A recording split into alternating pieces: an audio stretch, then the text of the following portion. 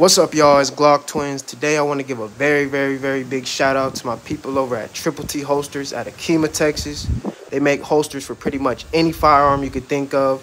Right here, they made one for my Glock 43X with a TLR6 on it, and then also has the magazine extension, as you can see. And uh, they put a Glock Twins on it, and I really love the design. He came up with it himself, and uh, I can't thank him enough for it. Y'all check him out.